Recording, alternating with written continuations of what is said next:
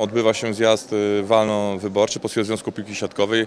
Z całej Polski przyjeżdżają delegaci, e, wybiorą nowe władze, nowego prezesa i nowy zarząd e, Polskiego Związku Piłki Siatkowej. Mi się kończy kadencja, już nie kandyduję, ale e, jestem przekonany, że najlepszym rozwiązaniem dla polskiej siatkówki, dla nas wszystkich jest, jest pan prezes Jacek Kasprzyk. W trybie takim nagłym zostałem powołanym Jestem również, wypełniam inny mandat poselski, jestem parlamentarzystą z Warmii Mazur e, i tam nie chciałbym tego środowiska zostawić, który, którzy mi zaufało zdecydowałem się nie kandydować na prezesa Polskiego Związku Siatkowej. Decyzje podejmie walne wyborcze, przyjeżdża 92 delegatów, to oni decydują e, o losie i o nazwisku nowego prezesa, nowego zarządu i to później ewentualnie zarząd będzie decydował, e, jaką rolę mi, mi powierzyć.